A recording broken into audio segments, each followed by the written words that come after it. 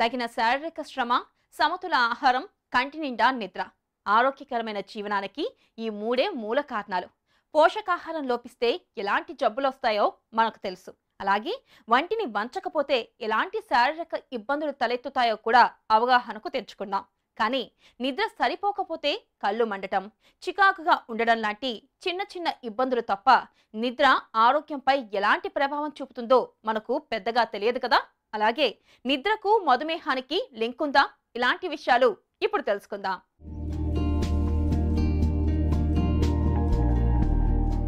నిద్ర శరీరానికి సంబంధించి విశ్రాంత స్థితి కానీ మెదడుకు మాత్రం అవసరమైన విషయాలను జ్ఞాపకముంచుకోవడానికి అనవసరమైన వాటిని డిలీట్ చేయడానికి ఇబ్బంది తలెత్తిన మెదడు కణాలను రిపేర్ చేసుకోవడానికి నిద్రను వాడుకుంటుంది. నిద్రలోనే శరీరం రోగనిరోధక శక్తిని వృద్ధి చేస్తుంది. నాడీ వ్యవస్థ సరిగా పనిచేసేందుకు దోహదం చేస్తుంది. హార్మోన్ల ఉత్పత్తి నియంత్రణ నిద్ర వలన సక్రమంగా జరుగుతుంది. అంతేకాదు ఊబకాయం హృదయ సంబంధ వ్యాధులు ఇంకా మధుమేహం వంటి అనేక ప్రాణాంతక అనారోగ్యాలపై నిద్ర నేరుగా తన ప్రభావాన్ని చూపిస్తుందని కొన్ని అధ్యయనాలు వెల్లడించాయి. నిద్రలేమి అనారోగ్యం ఒకదానితో ఒకటి ముడిపడిన అంశాలు. విశ్రాంతి సమయంలో శరీరం రక్తంలో చక్కెర స్థాయిల్ని ఎలా నిర్వహిస్తుందనేది మన నిద్ర నాణ్యతను బట్టి ఉంటుంది. అసలు నిద్రకి షుగర్కి ఊబకాయానికి బ్లడ్ ప్రెషర్కి గుండె జబ్బులకి ఉండేటువంటి అవినాభావ సంబంధం ఏంటని చెప్పి చాలామందికి సందేహం ఉండొచ్చు. మనం నిద్ర కనుక చూసినట్లయితే అసలు మనం ఎందుకు నిద్రపోవాలి? నిద్రపోయినప్పుడు ఏమవుతుంది మన శరీరంలో అని కనుక మనం కనుక సూక్ష్మంగా కనుక చూసినట్లయితే నిద్రపోయినప్పుడు మన యొక్క శరీరంలో రకరకాలైనటువంటి మార్పులు సంభవిస్తాయి. ఉదాహరణకి కొన్ని రకాలైనటువంటి స్ట్రెస్ రిలేటెడ్ హార్మోన్స్ ఏవైతే ఉన్నాయో అవి తగ్గిపోతాయి. అవి కార్టికోస్టిరాయిడ్స్ లాంటివి. అట్లానే గ్రోత్ హార్మోన్ లాంటి హార్మోన్ ఎక్కువగా ఉత్పత్తి కావటం అట్లానే మన శరీరానికి మనస్సుకి కూడా విశ్రాంతి లభించడం కూడా జరుగుతుంది. అలా కాకుండా మనం సరిగ్గా నిద్రపోకుండా ఉన్నట్లయితే అప్పుడేమవుతుందంటే ఇంతకుముందు మనం చెప్పుకున్నటువంటి కార్టికోస్టీరాయిడ్స్ ఏవైతే ఉన్నాయో అంటే స్ట్రెస్ రిలేటెడ్ హార్మోన్స్ ఏవైతే ఉన్నాయో అవి ఎక్కువగా ఉత్పత్తి కావటం అట్లానే మన శరీరంలో ఉత్పత్తి కావాల్సినటువంటి కొన్ని హార్మోన్స్ అంటే నిద్రపోయినప్పుడు ఉత్పత్తి అయ్యేటువంటి హార్మోన్స్ ఏవైతే ఉన్నాయో అవి సరిగ్గా ఉత్పత్తి కాకుండా ఉండటం అట్లానే మనకి తెలియకుండానే రకరకాలైనటువంటి రసాయనక మార్పులు ఏవైతే ఉన్నాయో అవి జరుగుతూ ఉంటాయి. దీనివల్ల మన శరీరానికి డయాబెటీస్ రిస్క్ పెరుగుతుంది అట్లానే బ్లడ్ ప్రెషర్ రిస్క్ పెరుగుతుంది అట్లానే ఉపకాయం రిస్క్ దాంతో పాటు హృద్రోగాలకు సంబంధించినటువంటి రిస్క్ కూడా బాగా పెరుగుతుంది. కాబట్టి ఇటువంటి వాటిని మనం కనుక నివారించాలి అని అంటే సక్రమంగా పడుకుంటాం అనేది చాలా అవసరం. అధ్యయనాల ప్రకారం ఏమని చెప్పి బయటపడిందంటే సరిగ్గా ఆరు నుంచి ఎనిమిది గంటల మధ్య కనుక పడుకున్నట్లయితే అది సరైనటువంటి నిద్ర అని చెప్పి బయటపడింది. అంతకన్నా ఎక్కువగా పడుకున్నా మంచిది కాదు అంతకన్నా తక్కువగా పడుకున్నా కూడా మంచిది కాదు.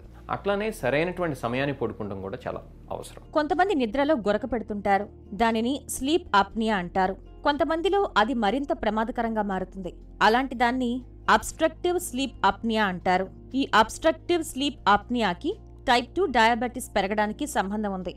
టైప్ టూ డయాబెటిస్ వ్యాధి వలన వచ్చే ఇతర ఇబ్బందులు కూడా ఈ అబ్స్ట్రక్టివ్ స్లీప్ అప్నియా వల్ల ఎక్కువ అవుతాయి మనం ఎంతసేపు నిద్రపోతున్నాం? అలాగే నిద్ర నాణ్యతకి శరీరం గ్లూకోజ్ను నియంత్రించే సామర్థ్యానికి మధ్య సంబంధాన్ని తెలిపే ఆధారాలున్నాయి. మీరు నిద్రపోతున్నా లేకపోయినా రాత్రిపూట రక్తంలో చక్కెర స్థాయిలు పెరుగుతాయి. ఇది మన శరీర సాధారణ సర్కాడియన్ రిథం చక్రంలో భాగం. రక్తంలో చక్కెర సాధారణంగా రాత్రిపూట నిద్రలో హెచ్చుతగ్గులకు గురవుతుంది. మంచి ఆరోగ్యం ఉన్నవారికి ఇది ఆందోళన కలిగించదు. కానీ నిద్ర వేళలు సరిగా లేని వారి బ్లడ్లో అన్హెల్దీ షుగర్ లెవెల్స్ కనిపిస్తాయి. నిద్ర తగ్గటం వల్ల రక్తంలో చక్కెర స్థాయిలు పెరిగే ప్రమాదం ఏర్పడుతుంది. నిద్రలేమి ఏ స్థాయిలో ఉన్నా అది ఇన్సులిన్ నిరోధకతను పెంచుతుంది. ఫలితంగా రక్తంలో చక్కెర స్థాయిలు పెరుగుతాయి. కాబట్టి మధుమేహం తరచుగా నిద్ర లేకపోవడంతో సంబంధం కలిగి ఉంటుంది. మన శరీరంలో బయలాజికల్ క్లాక్ అని చెప్పి ఒకటి ఉంటుంది. అలానే డయోర్నల్ రిథమ్ అని చెప్పి ఒకటి ఉంటుంది. వీటన్నిటిని నియంత్రించేటువంటి ఈ బయలాజికల్ క్లాక్ ఏదైతే ఉందో అది సరిగ్గా పనిచేయాలి అని అంటే అంటే మనం సరైనటువంటి సమయానికి సరైనటువంటి విధంగా మన శరీరంలోని దినచర్యలు సరిగ్గా ఉండాలి అని అంటే మనం సక్రమంగా పదింటికల్లా పడుకుంటాం అనేది అవసరం. అలా కాకుండా టీవీ చూస్తానో లేకపోతే వీడియో గేమ్లు ఆడతానో లేకపోతే మొబైల్ ఫోన్ చూసుకుంటానో వాట్సాప్ చూస్తానో కనుక మనం రాత్రి ఒంటి గంట దాకా ఉన్నట్లయితే తప్పకుండా రకరకాలైనటువంటి మార్పులు శరీరంలో సంభవిస్తాయి తద్వారా ఈ షుగర్ రిస్క్ అనేది పెరుగుతుంది. దీంతో పాటు మనం గ్రహించాల్సినటువంటి ముఖ్యమైనటువంటి గమనిక ఏంటంటే స్లీప్ యాప్నియా అనేటువంటి ఒక జబ్బు ఉంది. ఈ స్లీప్ యాప్నియా అది ఎవరిలో వస్తుంది అని కనుక మనం కనుక చూసినట్లయితే ఊబకాయం ఎక్కువగా ఉండేటువంటి వాళ్ళల్లో అది కనిపిస్తూ ఉంటుంది. ఈ యొక్క స్లీప్ యాప్నియా కనుక వచ్చి ఉన్నట్లయితే వాళ్ళల్లో కూడా ఈ యొక్క డయాబెటీస్ రిస్క్ ఎక్కువగా ఉంటుంది అని చెప్పి మనకి సైంటిఫిక్ స్టడీస్లో బయటపడింది. కాబట్టి ఈ స్లీప్ యాప్నియా ఉండేటువంటి వాళ్ళు కూడా డయాబెటీస్కి స్క్రీనింగ్ చేయించుకోవాల్సినటువంటి అవసరం ఎంతైనా ఉంది. ఇంకొకటి ఏంటంటే లేట్ షిఫ్ట్ వర్కర్స్ కానీ లేకపోతే లేట్ నైట్ వర్కర్స్ కానీ వాళ్ళు రాత్రి పన్నెండు రెండింటి దాకా లేచి ఉండేటువంటి అలవాటు ఉంటుంది కాబట్టి వాళ్ళ యొక్క ఉద్యోగ రీత్యా వాళ్ళల్లో కూడా ఈ యొక్క డయాబెటీస్ రిస్క్ లాంటివి ఎక్కువగా సంభవించేటువంటి అవకాశం ఉంది అని చెప్పి సైంటిఫిక్ స్టడీస్లో బయటపడింది. కాబట్టి వీలున్నంత వరకు పదింటికి పడుకుంటాం. అది కూడా ఒక డిసిప్లిన్డ్గా ఒక పద్ధతి ప్రకారం ఒక దినచర్య కింద చేసుకున్నట్లయితే చక్కగా ఈ యొక్క లైఫ్ స్టైల్కి సంబంధించినటువంటి జబ్బులు అది షుగర్ కావచ్చు బీపీ కావచ్చు అలానే ఊబకాయం కావచ్చు లేకపోతే గుండెకి సంబంధించినటువంటి జబ్బులు కావచ్చు వీటిని మనం దూరం పెట్టచ్చు. నిద్రకు షుగర్ లెవెల్స్కి సంబంధం ఉంది అనటానికి మరో అధ్యయనం కూడా ఊతమిచ్చింది. ప్రారంభ నిద్ర వేళల్లో శరీరంలో ప్లాస్మా గ్లూకోజ్ ఇన్సులిన్ స్రావం ఉత్పత్తి అయ్యే రేటు పెరుగుతుందని ఆ తర్వాత నిద్ర వేళలో వాటి రేటు నియంత్రణకు ముందు స్థాయికి వస్తుందని చెప్పిన ఆ అధ్యయనం అదే సమయంలో నిద్రలేమితో బాధపడే వారిలో గ్లూకోజ్ ఇన్సులిన్ స్రావంలో భారీగా వ్యత్యాసాలు నమోదైనట్లు చెప్పింది. శారీరక ఆరోగ్యం నిద్ర ఒకదానితో ఒకటి ముడిపడి ఉన్నాయి కాబట్టి నిద్ర శరీరంలోని రక్తంలో చక్కెర స్థాయిని ప్రభావితం చేస్తుందనేది అంత ఆశ్చర్యపోవాల్సిన విషయమేమీ కాదు.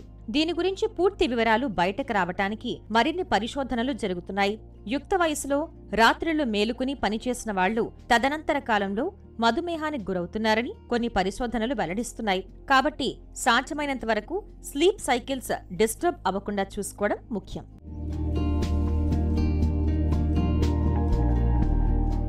ఒకప్పుడు యువత కూడా రాత్రిపూట త్వరగా నిద్రపోయేవారు. ఉదయం త్వరగా లేచేవారు. కుదిరిన వాళ్ళు మధ్యాహ్నం కూడా ఒక కొనుకు తీసేవారు. స్మార్ట్ ఫోన్ వచ్చాక ఈ స్లీప్ సైకిల్ బాగా డిస్టర్బ్ అయ్యాయి. నిద్రపోయే సమయం బాగా తగ్గిపోయింది. ఇది దీర్ఘకాలంలో ఆరోగ్యంపై ప్రతికూల ప్రభావాన్ని చూపిస్తుంది. అందుకే అందరూ ఒకసారి తమ దైనందిన జీవితాన్ని తరచి చూసుకోవాలి. ఎనిమిది గంటల పాటు నిద్రపోతున్నామో లేదో గమనించుకోవాలి. మంచి నిద్ర చక్కని ఆరోగ్యానికి సోపానమని గుర్తుంచుకోవాలి.